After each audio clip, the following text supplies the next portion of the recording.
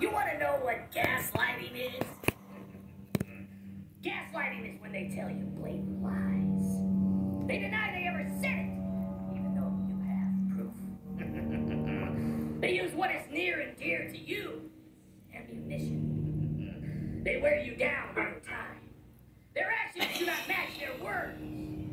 Throw in positive reinforcement to confuse you. They know that confusion weakens the people. They project, and then they blame you for what they themselves are doing. They try to align against you, and then tell everyone that you are crazy.